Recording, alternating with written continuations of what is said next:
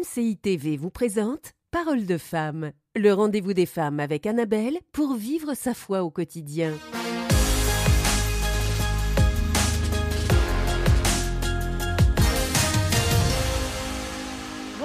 Bienvenue dans l'émission Parole de femmes. Nous poursuivons notre sujet de cette semaine qui est l'adultère avec le couple Dufour, Eric et Rachel.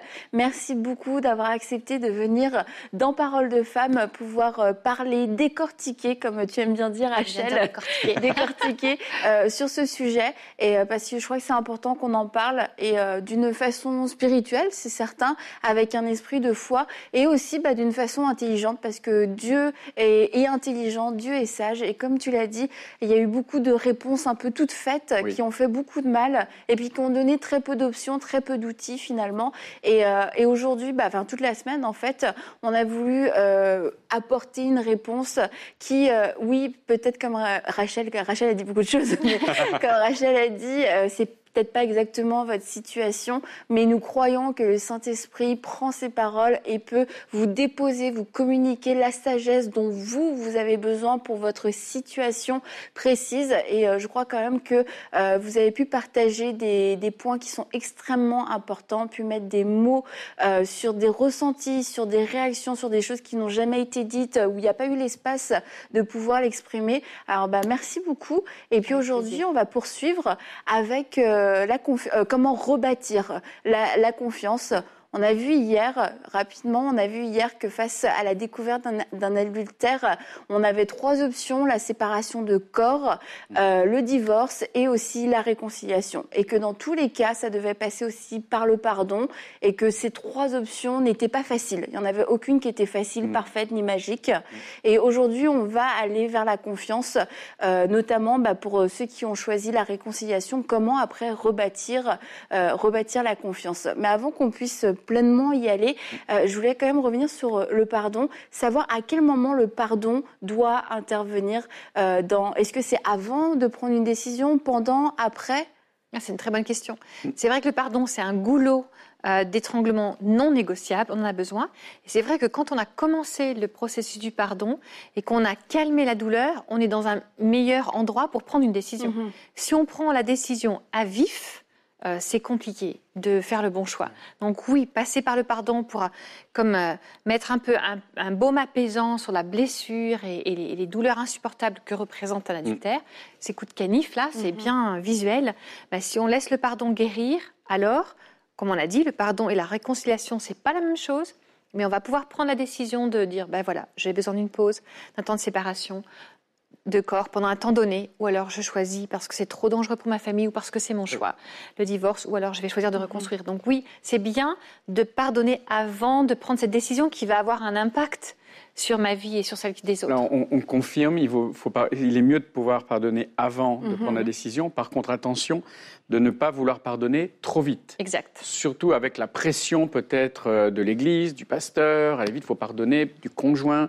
Euh, parce que si on pardonne trop vite, on n'a pas pris le temps de réaliser ce qui s'était passé, on n'a pas pris le temps de s'indigner, on n'a pas pris le temps de mesurer, de compter la douleur, les pertes, les deuils que ça va entraîner euh, par rapport à certains espoirs, certaines choses. Bref, euh, si on va trop vite, on va, ça reviendra en boomerang et on payera plus tard. Donc, pardonner avant de prendre une décision essentielle. Par contre, ne pas chercher à pardonner trop vite dans la précipitation, sans réaliser la profondeur de ce qu'on doit pardonner et du coût que ça va représenter pour moi, qui pardonne. Donc, les deux sont importants à considérer. Pardonner, oui, pas pardonner trop vite, prendre son temps pour le faire, mais il faut le faire. Mhm. Et on l'a vu hier, quand on choisit le chemin de la réconciliation, c'est pas un point final. Il y a eu un adultère, on l'a découvert, ok, parfait, on choisit la réconciliation. Et ben voilà, la vie reprend son cours. En fait, non, ça va être le début de tout un nouveau chapitre et euh, dont la, la confiance, c'est sûr, va, va a besoin d'être regagnée, a besoin d'être rebâtie. Et alors, comment le faire de façon saine? Euh, Hier, tu as parlé, Rachel, justement, des questions. À un moment donné, il faut savoir s'arrêter dans les questions. Euh, je pense qu'il y a plusieurs, euh, plusieurs étapes par lesquelles on peut passer pour pouvoir rebâtir. Tu as raison. C'est pas la fin du chemin, c'est le début d'un nouveau chemin. Mhm. Parce que pour pouvoir, quand on prend la décision de, bah, de- d'aller vers la réconciliation, alors on a tout un chemin de reconstruction de la confiance. On va partir du point zéro. Aujourd'hui, le point zéro, il est tu m'as trompé, j'ai pris un temps de pause, j'ai pardonné, j'ai fait le point avec Dieu, je choisis de redémarrer. Là, on est au point On est au point zéro. Mais maintenant, il va falloir choisir une durée de reconstruction de la confiance. On aime bien parler de contrat de confiance. La différence entre un, un contrat et une alliance, c'est que le contrat, il est conditionné, eh ben, en fait, que les deux Mhm. respectent les, Les clauses. les clauses du contrat. Et c'est important pour la reconstruction. Parce qu'en fait, ça va donner un espace au conjoint qui a trompé pour racheter la confiance. Il ou elle ne peut pas vivre en permanence avec ce- cette épée au-dessus de sa tête. Ouais. Bah, t'as trompé, donc euh, toujours je t'en voudrais, etc. On peut pas rester avec cette étiquette. J'ai trompé. Nous, on a vu tellement de fois Dieu euh, restaurer la personne qui a trompé aussi. Tu vois, le couple, notre couple qui vient de Mars, eh ben, c'est pas le même homme. Il, Ok, il a trompé sa femme X fois, mais aujourd'hui, c'est pas le même homme. Et on peut pas garder cette étiquette sur son front. D'ailleurs, en- entre parenthèses, le, même pour celui qui est l'auteur de, de l'adultère, en fait, l'adultère détruit. Oui. Et on a vu euh, vraiment très, très souvent euh, que la personne qui avait trompé, en fait, était euh, très abîmée à l'intérieur d'elle-même, parfois plus que la personne qui est trompée. Et, et ce qui est logique, parce que quand on s'adonne au péché, le péché nous détruit. Le salaire du péché, c'est la mort. Et on voit en fait une mort euh, émotionnelle, spirituelle s'installer dans le cœur de celui qui trompe ou de celle qui trompe. Donc attention. Euh, le- attention, la, la douleur va être aussi toujours dans, dans l'adultère, aussi du côté de celui qui a commis l'adultère. Donc c'est important aussi de, de- de- de le garder à l'esprit, ça. Donc on détermine un contrat de confiance. La durée va dépendre souvent Hmm. de la durée de l'adultère. Je vais donner un exemple simple, c'est qu'un exemple, on fait des généralités, Mhm. chacun adapte à sa situation. Je vais donner un exemple. Si l'adultère a duré six mois, une durée de six mois, pour reconstruire la confiance, minimum, semble une bonne durée. Si ça a duré un an, deux ans, on peut aller là. Si ça a duré plus longtemps, à voir. C'est bien d'avoir quelqu'un, un, un thérapeute pour en discuter. hein. C'est juste pour vous donner un exemple. C'est qu'un exemple, d'accord? Qu'un exemple. Vous adaptez à votre situation. Je pen- je pense que pour la personne qui a été trompée, alors par exemple si on était dans, dans un accident d'une une fois, euh, d'un soir, je pense qu'il faut que cette personne sache quelle est ma zone de sécurité, de quoi j'ai besoin pour sentir que j'aurais eu assez de temps pour pouvoir redonner confiance, travailler dessus, vérifier si mon conjoint euh, est vraiment digne de confiance. Je pense qu'il faut regarder à soi, regarder dans la zone de sécurité qui m'est nécessaire. Parce qu'en fait, j'ai aussi, en tant que victime, besoin, à un moment donné, de redonner confiance à l'autre. Je ne peux pas tout le temps vivre. Celui qui a commis l'adultère ne peut pas tout le temps vivre dans ce, avec cette étiquette, comme on l'a dit, j'ai commis l'adultère. Est-ce qu'un jour, il ou elle va me refaire confiance? Mais pour celui qui a été trompé, on a aussi besoin de ça. On ne peut pas constamment me demander est-ce que ça va recommencer à un moment donné Est-ce que s'il rentre un petit peu tard du travail, ça veut dire quoi Est-ce qu'il est à nouveau avec quelqu'un ou est-ce que simplement euh, il est dans les embouteillages Euh, Donc en fait, on ne peut pas vivre avec ce questionnement permanent, cette angoisse co- euh, constante. Donc vraiment, la confiance, elle va être au bénéfice des deux. Donc c'est important de savoir quelle sera ma, ma zone, à peu près de combien de temps je vais avoir besoin. Alors c'est vrai que si on a un professionnel qui peut nous aider à, à poser une limite pour que ça n'aille pas trop loin, c'est important aussi. Et il y a une période minimale qu'il faut trouver en même temps. Donc le contrat, l'avantage, c'est qu'il y a un début et une fin. Oui. Qu'est-ce qu'on met dans ce contrat? On va mettre des conditions qui vont, supposons que c'est moi qui ai été trompée, qui vont m'aider à me sentir en confiance. Genre, je vais vous donner des exemples. Supposons qu'on dise, bah, écoute, pendant, je vais garder six mois, juste à la valeur d'exemple. Pendant six mois, je te demande de mettre de côté ton téléphone, euh, ton smartphone, ton téléphone intelligent, et je voudrais qu'on revienne à un téléphone qui sert que à téléphoner. Comme ça, je sais, et tu changes de numéro. Voilà, je voudrais qu'on change de numéro, que tu prennes un téléphone euh, qui soit. Est-ce que ça se négocie Ça Alors, c'est la personne qui a été. C'est une très bonne question, Annabelle. Oui. La personne qui a été euh, trompée dépose, écrit le contrat. On peut en discuter pour l'expliquer, mais pas pour négocier. Ok.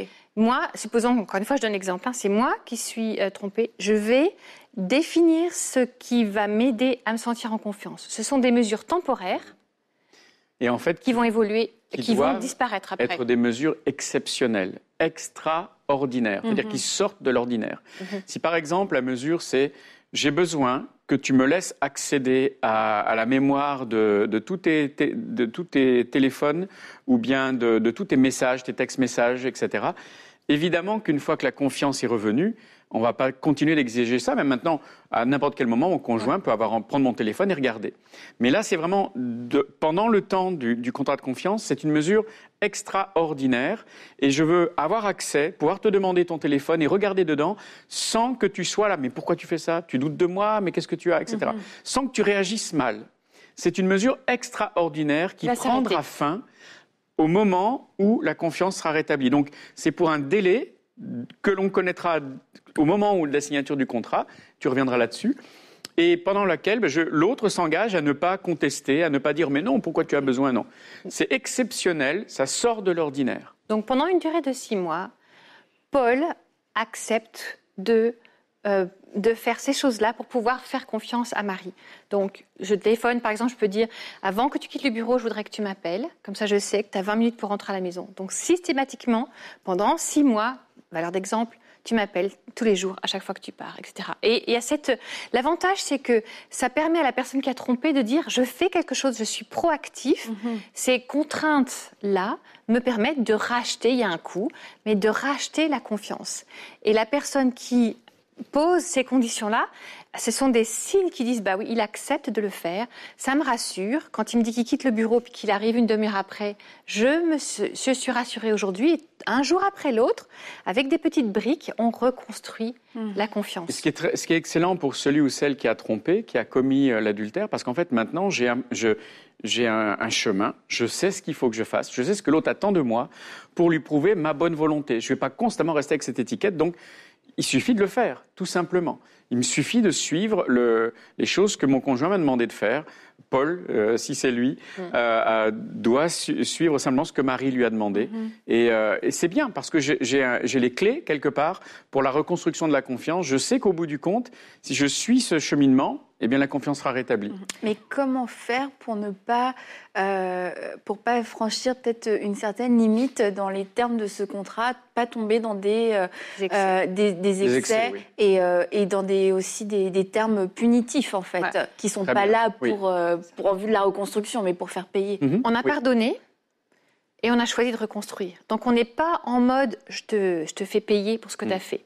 On regarde vraiment aux conditions qui vont me permettre, moi, de me sentir en confiance. Donc je ne le fais pas pour punir l'autre, je le fais pour que moi, je me sois rassurée. Comment est-ce qu'on sait de quoi on a besoin? C'est simple. Si à chaque fois qu'on pense...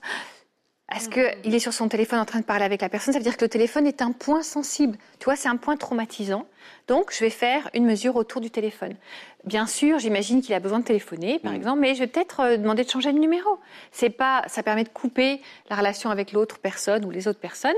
Ça va me rassurer, mais ça va pas le handicaper. Il va pouvoir continuer de travailler, de, de Et téléphoner. puis normalement, le, le conjoint, euh, je pense que c'est peut-être important de le dire, ça va sans dire, mais il faut le redire.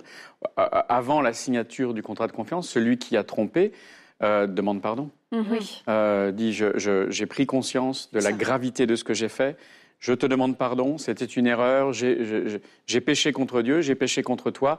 Maintenant, euh, puisque tu me redonnes une chance, dis-moi comment faire. Mhm. Donne-moi les clés euh, pour qui vont te permettre de retrouver confiance en toi.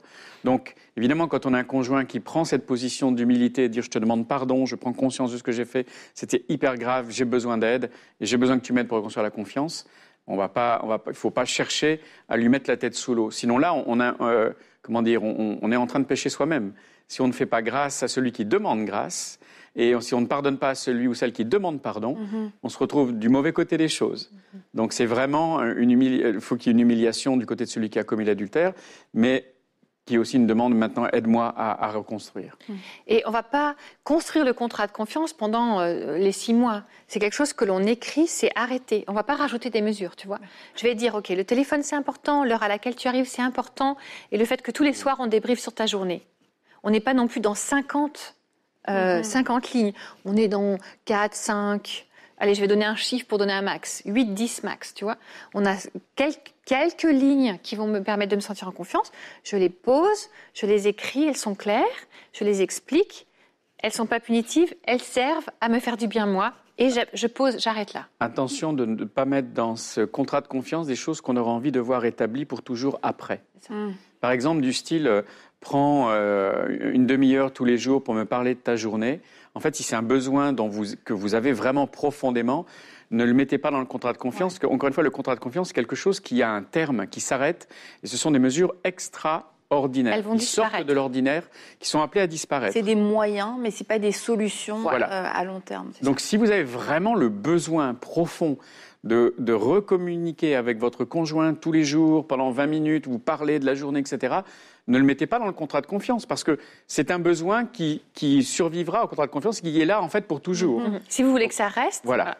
Dans, la, dans la ligne du contrat de Mhm. confiance, ça peut être je voudrais que tu me parles de tous les collègues qui t'ont parlé, s'il y a eu adultère au Oui, au, bureau. Je voudrais que tu me parles à la fin de la journée de tous les collègues qui t'ont parlé dans la journée. Bon, bah, ça, on n'a peut-être pas envie tout le temps, toute notre vie, de savoir tous les collègues qui ont interagi. Voilà. Est-ce Donc, que ce sont c'est des mesures exagéré. Est-ce que c'est une mesure, euh, une demande exagérée Euh, Par exemple, il y a eu un adultère sur euh, le lieu de travail. Mettons, il y en a même eu plusieurs. Mhm. De dire, bah, je veux que tu quittes ton travail, je veux que tu changes. C'est pas exagéré. Mm. C'est pas exagéré. Encore une fois, c'est au cas par cas, mais c'est pas exagéré. Pourquoi? Parce que, un, ça construit la confiance du conjoint, mais peut-être que la personne, pour guérir des racines, comme on a parlé au début de la semaine, des racines qui ont suscité, enfin qui ont été à la base de l'adultère, il y a peut-être besoin d'être retiré de cette atmosphère où il va y avoir trop de tentations, etc., pour pouvoir ben, muscler le- la résistance et puis apprendre à ne pas retomber dans ces pièges-là. Encore une fois, cette zone de reconstruction de la confiance, elle est positive pour les deux. Elle n'est pas punitive, elle est positive pour les deux. On construit la confiance et on renforce la capacité du conjoint qui a trompé à ne plus tromper. Alors, c'est une question extrêmement importante. On est dans une économie qui parfois peut être difficile. Oui. Comment on retrouve un job à côté? Alors là, ça va faire appel à la foi. En fait, je pense que le conjoint qui a trompé, et, et si, si l'autre dit bah, Je voudrais que tu quittes ce job, ben, je pense qu'il faut croire que Dieu est dans l'affaire. Et qu'en fait, oui, ça peut paraître euh, complètement fou. Euh, mais euh, est-ce que Dieu est capable de me redonner un travail à côté? Eh oui. Peut-être que je vais passer par un temps de galère. hein. Ça ne veut pas dire que je vais avoir un autre job immédiatement. Mais là, c'est vraiment une- un engagement par la foi. Parce que mon couple est plus important que mon job. Et je fais confiance à Dieu. Je crois que Dieu a la capacité pour pourvoir. Et euh, c'est aussi un moyen de montrer vraiment ma bonne volonté. Quoi. Mon couple, ma relation avec mon, mon époux, mon conjoint, est plus importante que mon Mhm. travail. Une fois qu'on a fini d'écrire ce contrat, eh ben, on se place tous les deux Oui. devant, Devant Dieu. Dieu. Et on dit Seigneur, tu vois, on a pardonné, on s'est demandé, enfin, tu- il m'a demandé pardon, je lui ai pardonné, on, on veut vraiment se réconcilier. Sois avec nous quand on va signer. Vraiment, nous, on encourage à jouer le jeu. hein. Ouais. Tous les deux, vous signez Un contrat en deux exemplaires, voilà, un et pour on chacun. signe. Pourquoi? Parce que ça va nous garder, en fait. On l'a devant les yeux pendant, on garde le- la durée À six mois. voilà, hypothétique, de six mois, mais on le signe tous les deux, on le scelle avec le Saint-Esprit, tu nous aides Seigneur. Et on pratique, Mm. et on pratique au quotidien. Alors qu'est-ce qui se passe s'il y a, s'il y a une, une rechute? Ben, Il y a une différence entre le... Supposons, je vais prendre un exemple, hein, supposons que dans le contrat, j'ai dit que je donnais un coup de fil avant de partir du bureau Mhm. systématiquement. Supposons qu'il y a eu un rush au travail, euh, que j'ai vu l'heure, que je suis partie, que j'ai oublié de téléphoner. Il y a une différence entre mince, j'ai oublié de téléphoner, je m'arrête au bord de la route, j'appelle, je dis écoute, j'ai oublié de t'appeler, mais maintenant, je t'appelle maintenant, je viens de m'en souvenir, ou j'arrive à la maison et, et elle me dit, ou il me dit, Mm. tu m'as pas appelé, c'est dans le contrat de confiance. Je dis, ah, je te demande pardon, j'ai j'ai complètement oublié, c'était pas intentionnel. Là, on peut dire, écoute, fais vraiment, c'est important pour moi. Mhm. S'il te plaît, fais attention. Donc c'est important d'utiliser la grâce. La grâce. en fait, hein. Voilà, Oui. c'est ça. On est en train de redonner une seconde chance à son conjoint.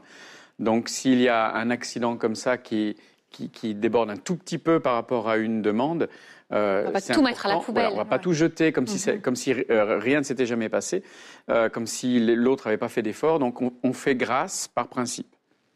Si ce genre d'incident se reproduit, qu'il n'y a, pas vraiment- y a pas vraiment une mauvaise intention, mais ça se reproduit un peu trop fréquemment, on peut choisir de remettre le compteur à zéro.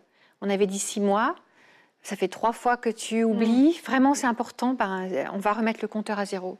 C'est pas, c'est pas très agréable. hein. on va remettre le compteur à zéro.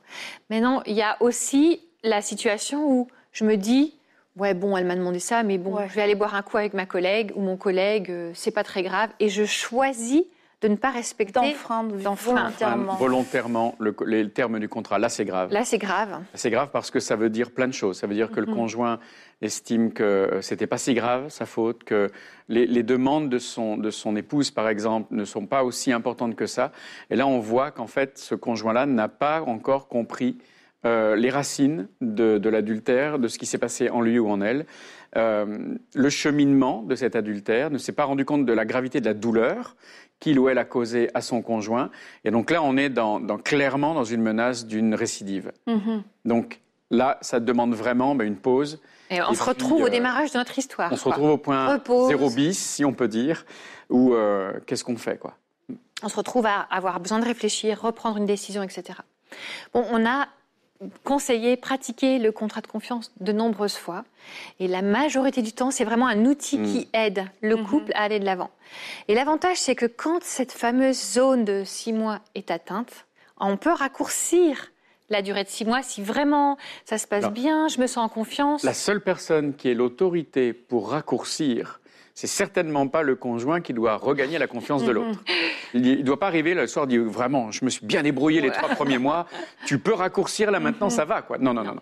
Il faut vraiment que ça vienne d'une intime conviction de celui ou celle qui avait été trahi, de se dire vraiment, euh, il se débrouille super. quoi. Prête. je suis prête.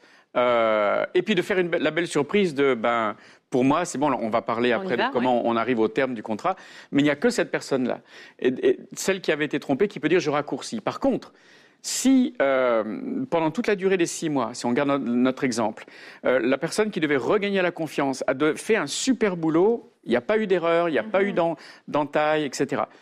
Arrivé au terme des six mois, celui ou celle qui leur a donné ses confiances ne peut pas dire Oh ben non, finalement, six mois, c'est pas assez. Euh, je rallonge du double. Non, ça, c'est juste pas possible. Si l'autre a été honnête, a été franc, a tenu, a tenu bon, a toujours donné euh, tout ce que euh, tout ce qu'il y avait été nécessaire pour la, la confiance, on peut pas choisir de rallonger parce que sinon il y a ce sentiment de je vais toujours payer quoi toute ma vie en fait. C'est pas terminé. Ça ce serait le signe que la personne trahie en fait a pas complètement pardonné et, et en fait euh, a nourri des choses peut-être pas pas non plus de travailler comme elle l'aurait dû. Quand on est victime, il peut y avoir cette tendance à se dire ben, c'est moi la victime, j'ai pas à travailler sur moi. Ouais. Et c'est dangereux, parce que la victime aussi doit travailler sur elle-même et sur euh, certains mécanismes en soi. Donc, en fait, la période de confiance, elle est valable pour les deux. C'est un- une méthode de guérir pour les deux. Le- la victime ne doit pas simplement attendre que ça se passe. quoi. C'est aussi une période pendant laquelle je m'engage à travailler sur moi de mon côté. Puis alors ça, c'est extraordinaire. Quand enfant, on atteint ce fameux jour, on regarde euh, sur le papier, Ça y est, là, on y est. ça y est, on y est. Ben, c'est l'occasion de sceller à nouveau ben, une nouvelle alliance, en Ouais. fait.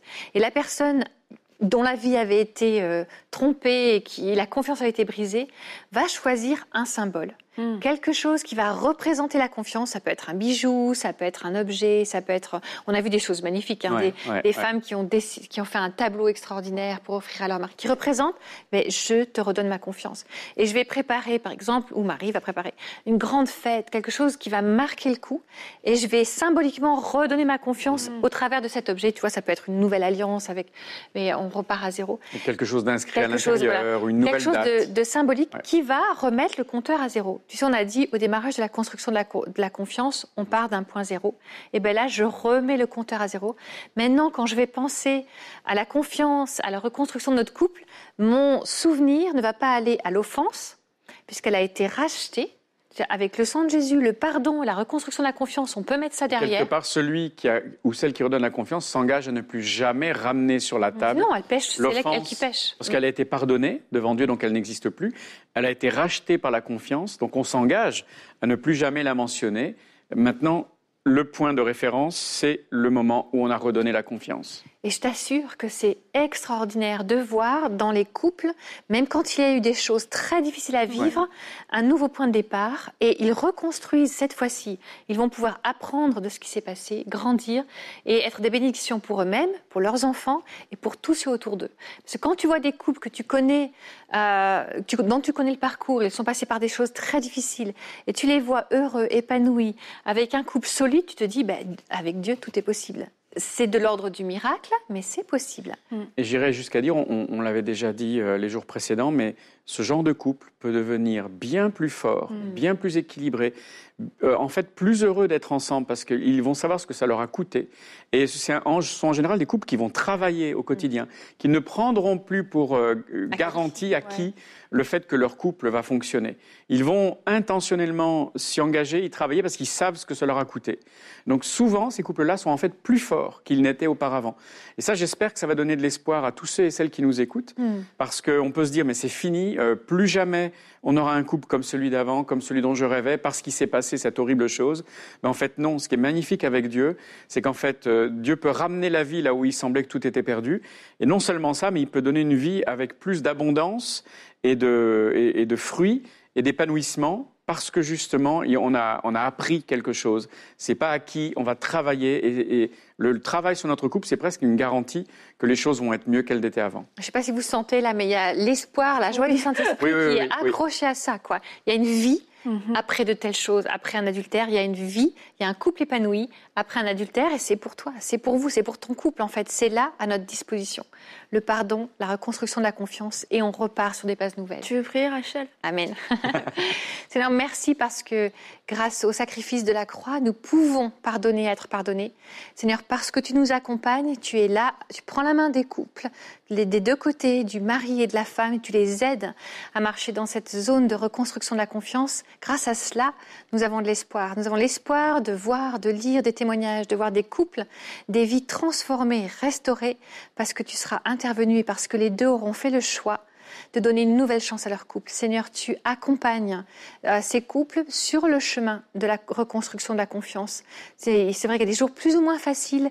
Seigneur, tu leur donnes de l'intelligence, tu leur donnes des bons conseillers, tu leur donnes de construire leur contrat de façon euh, juste et sage. Seigneur, tu es là à chaque étape, à chaque jour, jusqu'au moment où ils vont célébrer, fêter avec toi une alliance nouvelle. Ils vont repasser avec toi cette alliance nouvelle, peut-être même prononcer leurs vœux.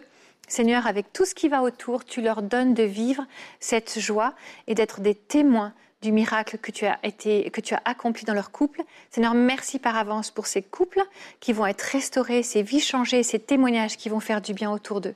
Seigneur, nous voulons casser euh, la tactique du diable qui veut séparer, détruire la cellule familiale. Et Seigneur, donner la possibilité aux couples qui ont été abîmés par l'adultère de trouver le chemin de la reconstruction, le chemin d'un nouveau départ, Seigneur, et d'un témoignage encore plus grand euh, que, que, ce qui aurait pu être. Seigneur, que tu rachètes euh, ce qui avait été prévu pour détruire, que tu le rachètes et que tu le transformes en des pierres précieuses pour ton royaume et pour des témoignages autour d'eux. Seigneur, merci par avance pour ces belles histoires que nous allons pouvoir euh, lire, vivre et que les, couples vont pouvoir vivre avec toi. Amen. Amen, Jésus. Amen.